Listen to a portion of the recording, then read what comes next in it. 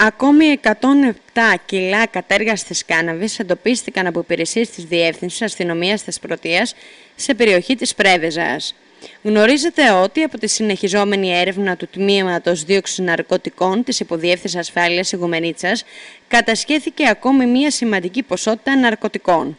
Ειδικότερα στο πλαίσιο της διερεύνησης της ίδιας υπόθεσης, αστυνομική της παραπάνω υπηρεσίας με τη συνδρομή και της ομάδας πρόληψης και καταστολής εγκληματικότητας της Υποδιεύθυνσης Ασφάλειας Ιγουμενίτσας και του δεύτερου τμήματος Συνοριακής Φύλαξης Φιλιατών εντόπισαν στις 17 Δεκάτου του 2021 το απόγευμα κρυμμένους σε θαμνώδης παραθαλάσσια περιοχή της Πρέβεζας τρεις ταξιδιωτικούς σάκους που περιείχαν συνολικά 14 δέματα με κατέργαστη κάναβη συνολικού βάρους 107 κιλών και 270 γραμμαρίων. Η προανάκριση του τμήματος 2 ξεναρκωτικών της Υποδιεύθυνσης Ασφάλειας Ιγουμενίτσας συνεχίζεται.